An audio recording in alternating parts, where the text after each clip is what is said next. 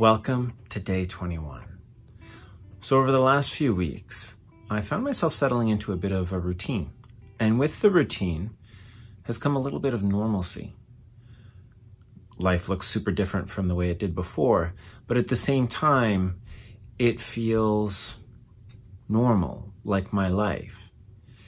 And there's one thing I've been thinking about in this normalcy, and it's a quote from Oscar Wilde No man is rich enough to buy back his past.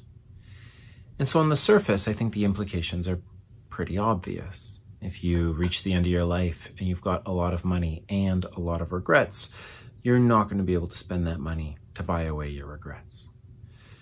And so, better to be intentional the first time through, especially with respect to how you're earning, how you are earning your money and what sacrifices you're making to do that.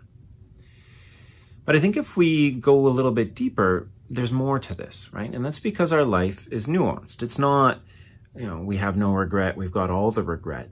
There's all sorts of different spheres of our life where we could have regret.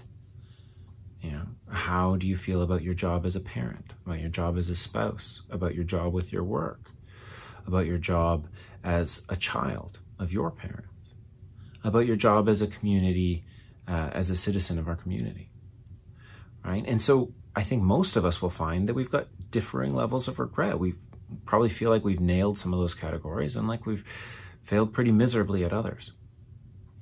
And so we're in a pause right now. And you this is a perfect time for you to take a look at what you're doing and figure out if it's going to lead to regret or not.